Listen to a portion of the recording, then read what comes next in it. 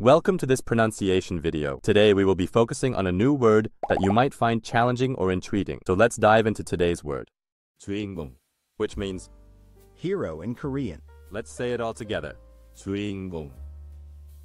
주인공. 주인공. One more time. 주인공. 주인공. 주인공.